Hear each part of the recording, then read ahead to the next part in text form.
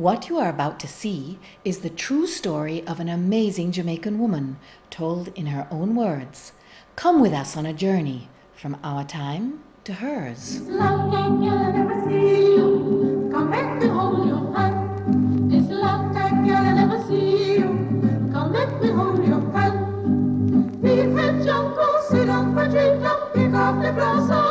girl I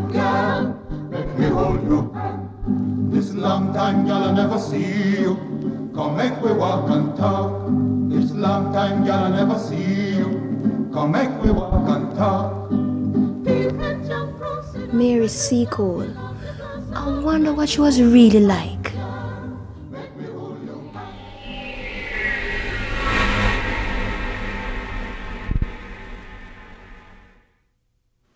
Is anybody here? Of course there's somebody here. You are here and apparently so am I. But I don't know how I got here. Dressed like that, I'm surprised you got here at all. Wonder they didn't arrest you for indecent exposure. Where's your carriage? My carriage? Well, you didn't walk the streets of Kingston. The donkey carts would have left splashes on your lower extremities. I'm so confused. I don't know where I am.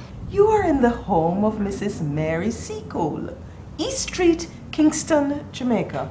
But East Street? This is where the National Library is. Or should be. I guess I'm talking nonsense. Nonsense, huh? I've learned in my lifetime not to use that word too loosely. We have come together because nothing happens without a purpose. I was wishing I could meet Mary Seacole. I mean you, ma'am. Well, here I am, and there you are. Would you like a cup of tea?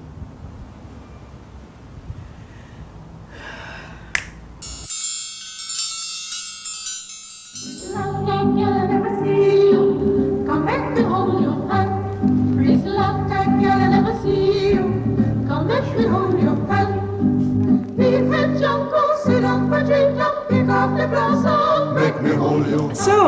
time girl I never see you. Come let me hold your hand. Please, long time girl I never see you. Come let me hold your hand. We can jump, go sit down for drink, and pick off the blossom. Make me hold your So, they still remember me in the 21st century. Well, I want to know more. Well, let's start at the beginning. I was born right here in Kingston, Jamaica. When was that, ma'am? Let's just say the 19th century and I were young together. That would be the early 1800s. Yes, in the days of slavery. That's 200 years ago. My grandmother was a slave. My mother was able to gain her freedom. My father was a British soldier. You were born free, ma'am. My mother, like so many free black women, operated a boarding house right here on East Street. But she was also a doctress, What is a doctress?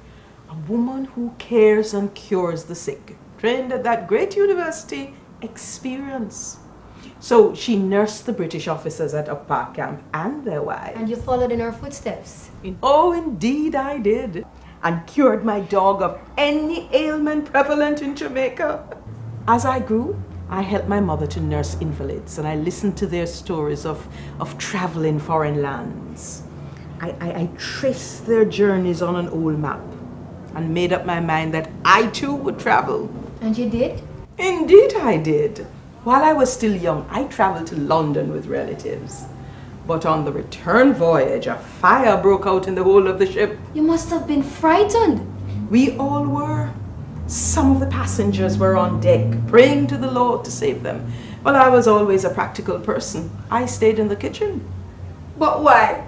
I promised to pay the cook two pounds if he strapped me to a wooden chicken coop. So if we sank, I would float safely. Have been terrified. Fire is a terrifying thing, child.